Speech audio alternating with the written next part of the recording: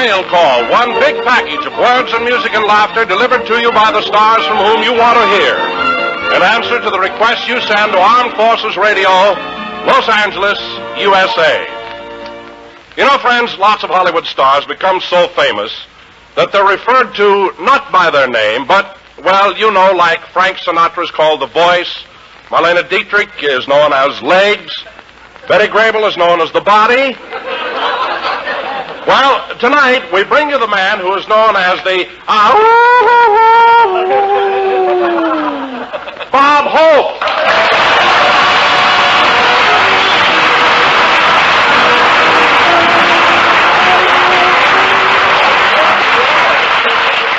He's an old wolf, isn't he?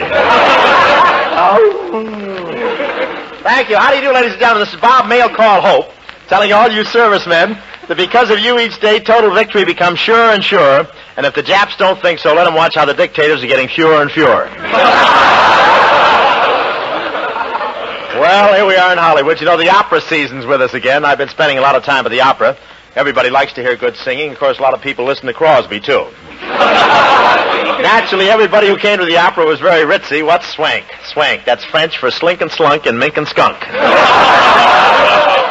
One beautiful society girl was there, and she was really covered with furs. She had a sable coat over her shoulders and an eager beaver on each arm.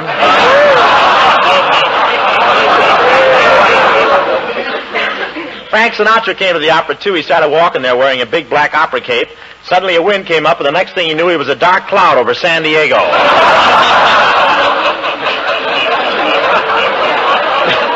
and those opera tickets were really inexpensive. Expensive, I mean. I take it back. I walked up to the window and took out a dollar bill. George Washington took one look at the price and said, I think we better get Abe in on this deal.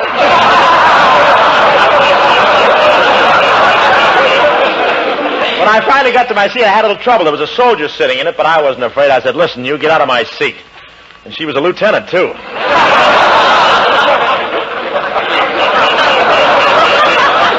It turned out to be a lovely seat, though, right between Rita Hayworth and Ann Sheridan. Every few minutes, they had to turn the cooling system on and turn me off. Lana Turner was there. She was wearing a strapless evening gown, so the following night I went back to see the opera.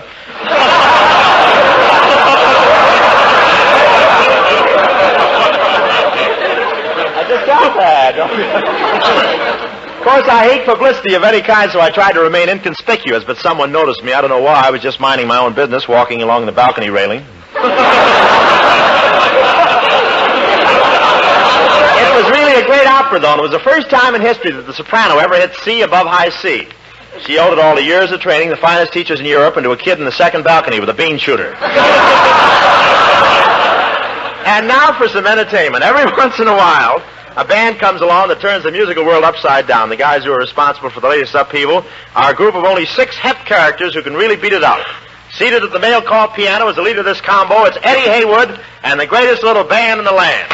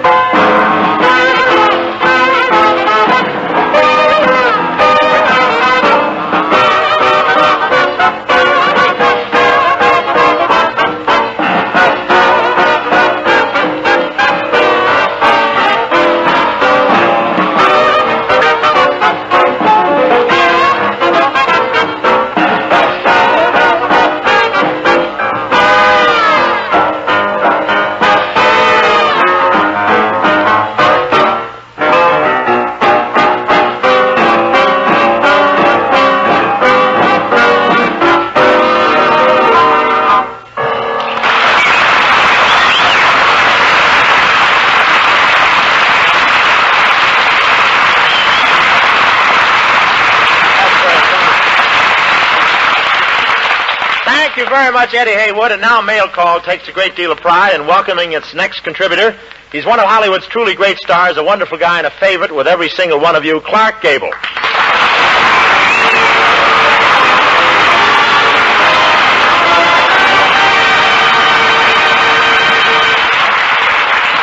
Well, welcome to Mail Call, Clark. Thank you, Bob. The pleasure's all mine. Gee, isn't this wonderful? You know, a thing like this happens once in a lifetime. What do you mean? Well, after all, the two handsomest men in Hollywood.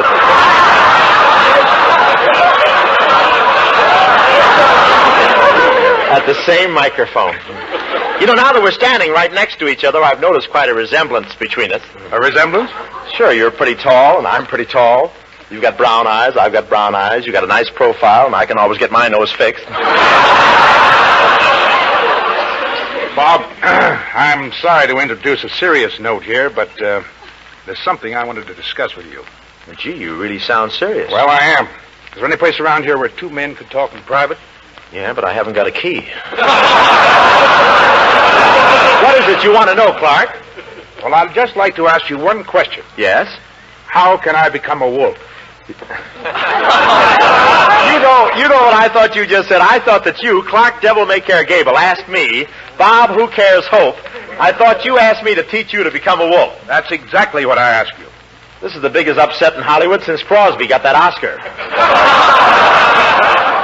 so you really want me to show you how to become a wolf, huh? That's right. I don't know where to begin. I've never had this much material to work with before. but tell me, Clark, how did you happen to hear I was so popular with the girls? Well, don't try to act shy. It's all over town. Oh, really? Sure. Everyone says you're the number one ladies' man. Oh, well, please, I'd rather not talk about it. Well, all right. Oh, I'm willing to listen. Come on, quit stalling, Bob. Let me in on some of your secrets. How did you ever learn so much about women? well, I used to be rosin boy with Phil Spitalny and his all-girl orchestra.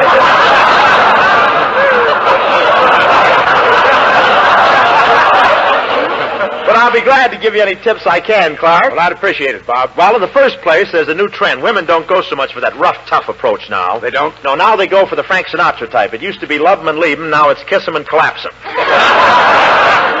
Well, I guess I could become a little gentler. And another thing, you might try being a little more sophisticated. Well, but Bob, I thought I was sophisticated. I just finished uh, reading three chapters of Forever Amber.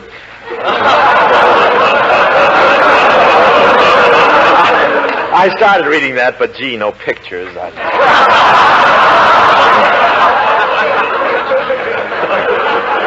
Bob, I was looking forward to a little more concrete aid, in the form perhaps of uh, of a telephone number. A telephone number? Sure, you know lots of girls. Well, yes, but I make a practice of never giving away a phone number unless I get one in return. Well, that's fair enough. Here's a phone number right here. You'll like her too, Bob. She's a big movie star. Oh, swell. Now I'll open my address book.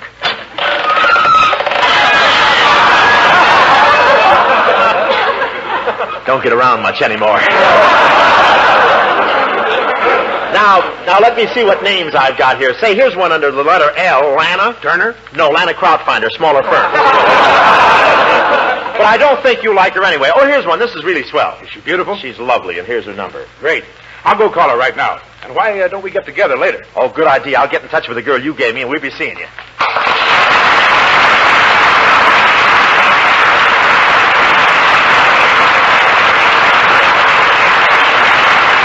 While Bob Hope and Clark Gable search booth, I'd like to get a little gal up here whose popularity with our troops overseas has flooded the Armed Forces radio service with letters each and every week. Here she is, that tuneful GI armful, giving out with I'm Gonna See My Baby, Connie Haines.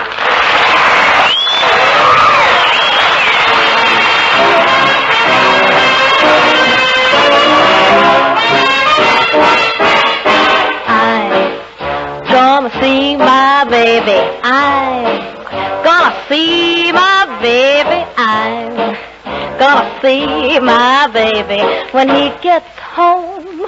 Victory Day. I'm gonna see my baby. Cause I really missed my baby. I'm gonna kiss my baby and live and love the U.S. way. Email's the right way. You just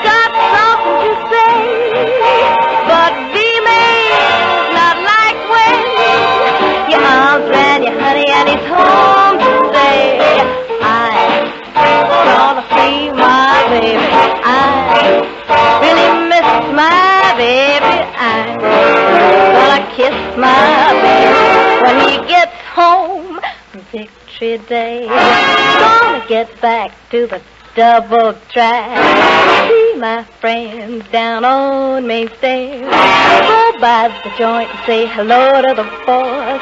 Then grab my boy and say, let's get lost. Cause I'm gonna see my baby. I really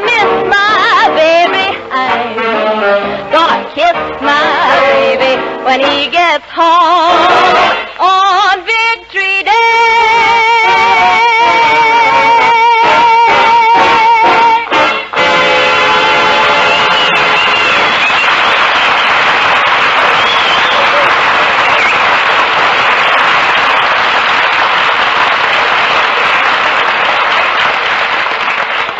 Gee, imagine going out with a girl from Clark Gable's address book. Well, this is the this is the right house here. I wonder what she looks like. Her voice sounded so romantic on the phone.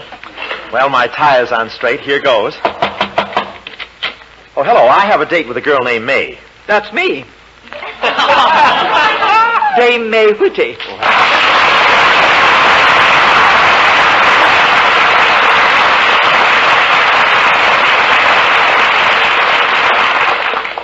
Are you the Robert that called on the phone before? Well, yeah, I'm the Robert. But you said your last name was Taylor. yes, I know. uh, but as a matter of fact, there's quite a resemblance between Robert Taylor and me. Oh, really? Sure, he's pretty tall. I'm pretty tall. He's got brown eyes. I've got brown eyes. He's got a nice profile. And you can always get your nose fixed.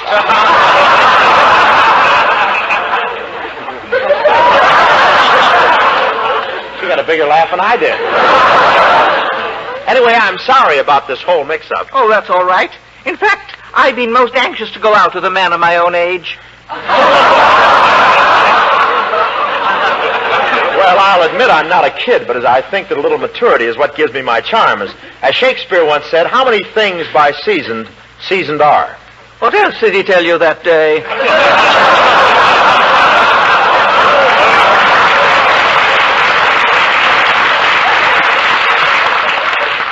Don't remember, but I can check with Crosby. By the way, where did you get my phone number? Oh, from a very good friend of mine, Clark Gable. Clark Gable? I wonder how he has an address book with my name in it. I understand his grandfather left him everything.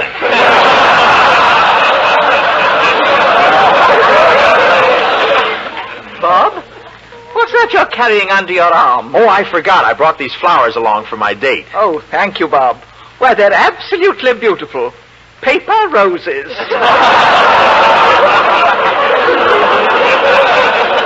Heavens, these must have cost a fortune. No, only five cents. I made them out of the Examiner.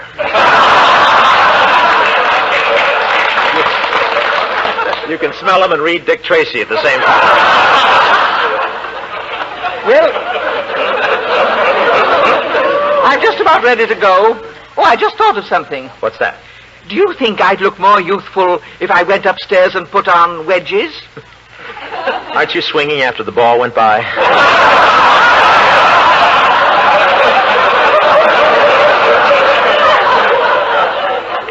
My, you're really dressed up for this occasion. Well, after all, we're going to the theater. Yes, but don't you think you're overdoing it a little? Wearing a coat with tails to the theater? This coat hasn't got tails. Well, there's something hanging down the back. Yes, when I'm tired, I drag a little.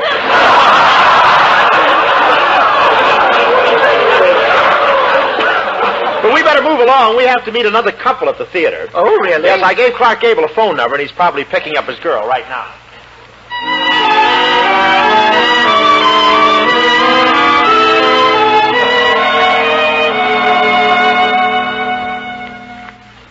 Well, this is the address she gave me. I wonder what she looks like. Her voice sounded so romantic on the phone. Well, my tie's on straight. Here goes. Good evening. I'm Clark Gable. Hello, I'm Margaret O'Brien.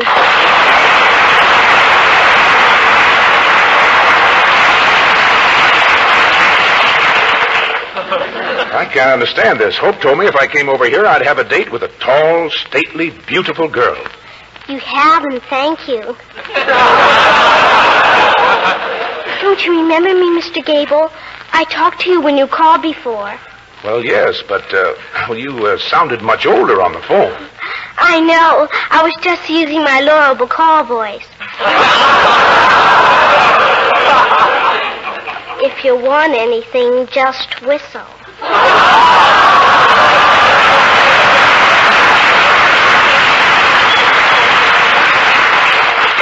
Well, I'm still a little mixed up about this, Margaret. Uh, how did you ever get acquainted with Bob Hope? Well, you see, when my mother and auntie go out at night, he gets 50 cents an hour for sitting with me.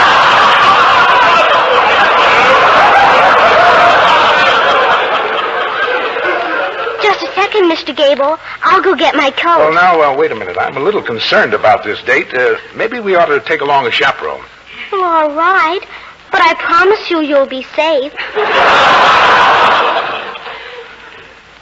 you know, Mr. Gable, you haven't said a word about my gown. Oh, I'm sorry, Margaret. It's really beautiful. Do you think it's too daring?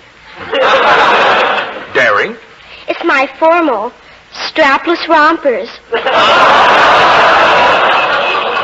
Come to think of it, it uh, might be considered pretty risque. Well, I run around with a pretty adult crowd. No fooling. I don't want this to get around, but when my boyfriend takes me out riding, he steers with one hand. Why, that's dangerous. It certainly is. Yesterday we almost fell off the scooter.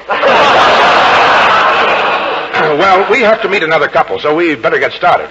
And I hope you have a good time with me, Margaret. Oh, I know I shall. Do you want to make everything just perfect? Certainly. I'll do anything I can. Anything? Sure. Then for the rest of the evening, would would you just call me Scarlet?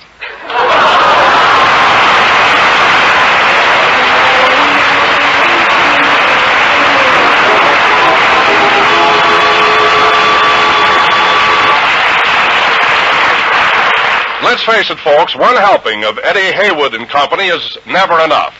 So here's Eddie again, and this time it's the sunny side of the street.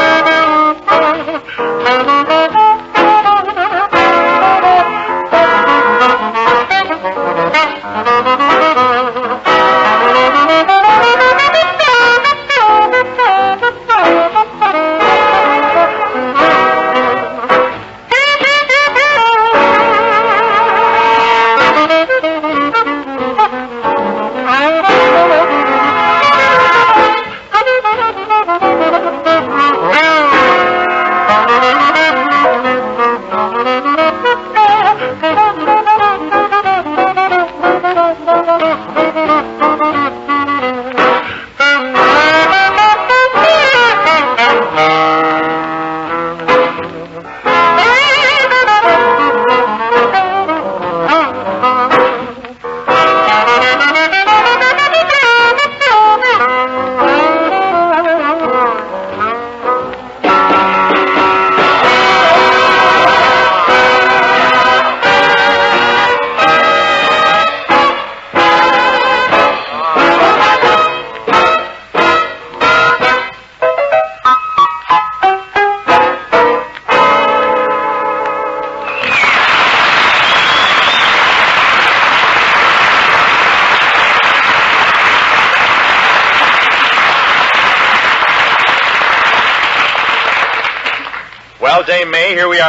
You see, it wasn't such a long walk for you after all, just 40 blocks.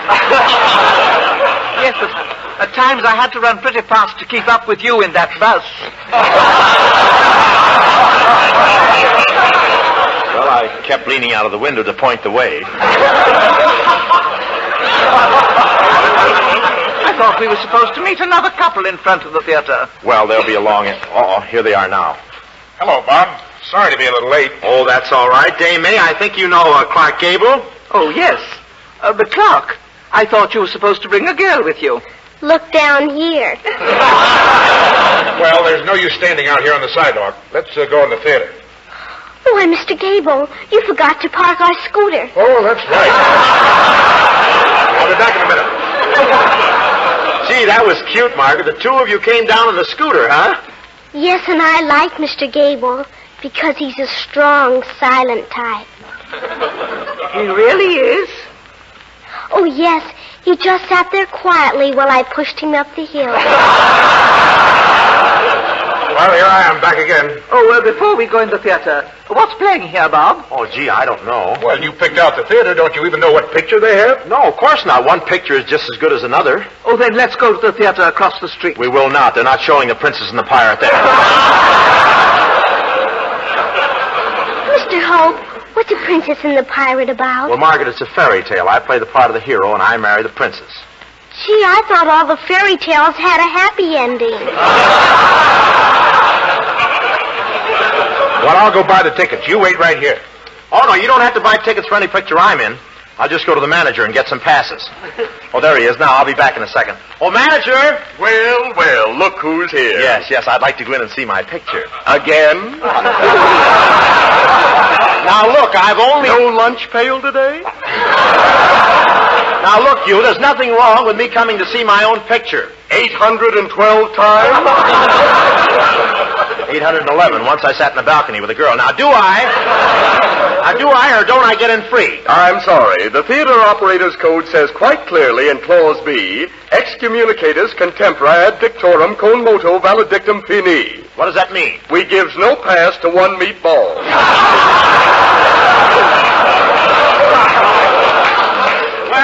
Well, I'm going to report you, and not only for that either. The Princess and the Pirate is playing here, and you've got pictures of Bing Crosby all over the lobby. Well, he's in the picture, too. He only has a small part. I'm the star of that picture. Give me one good reason why you've got Crosby's picture all over the lobby. Because we're trying to make some money. Oh, is that so? Well, Well, please, Bob, there's no need to make all this fuss. Come on, I'll buy the tickets. oh, no, you don't. Why should you buy the tickets? But I insist. Nothing doing. Margaret, Margaret and Dame May have been working steady.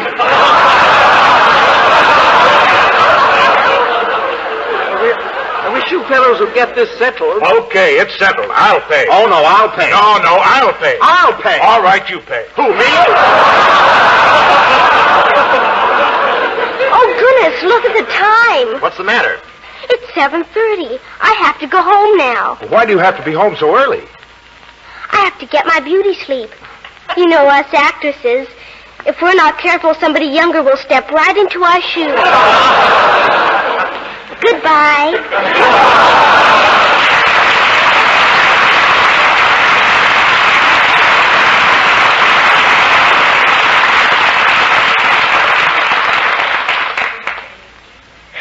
Well, that leaves just the three of us. Well, then, the three of us. Oh, my gracious. Isn't this Wednesday night? Well, yes, what about it? Well, every Wednesday night there's a symphony concert at the Philharmonic. A concert? Yes, and tonight I live. You mean? Yes, if no one stops me, I'm dancing with Toscanini.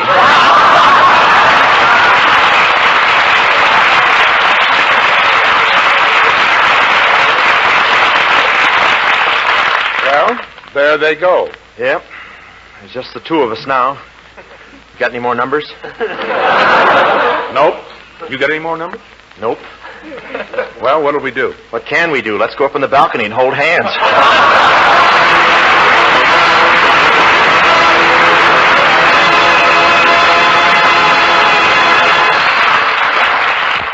It was swell having you on mail call, Clark. Before we write for is there anything you'd like to add? Yes, Bob.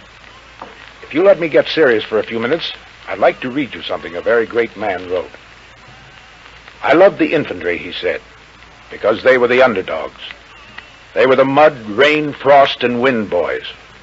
And in the end, they were the guys without whom the battle could not have been won. I remember sitting in the darkness of an invasion barge. Even the dizziest of us knew that before long, many of us stood an excellent chance of being in this world no more. I don't believe any of us was afraid of the physical part of dying. That isn't the way it is. The emotion is rather one of almost desperate reluctance to give up the future. That includes so many things. Things like seeing the old lady again, going to college, of holding your kid on your knee, of again becoming champion salesman of your territory. And yes, even of just sitting in the sun once more on the south side of a house in New Mexico. I never heard anybody say anything patriotic, the way the storybooks have people talking. I think it was just the application of plain, unspoken, even unrecognized patriotism. Clark, I knew the man who wrote those words. You're right. He was a great man. One of America's greatest, Bob. His name was Ernie Pyle.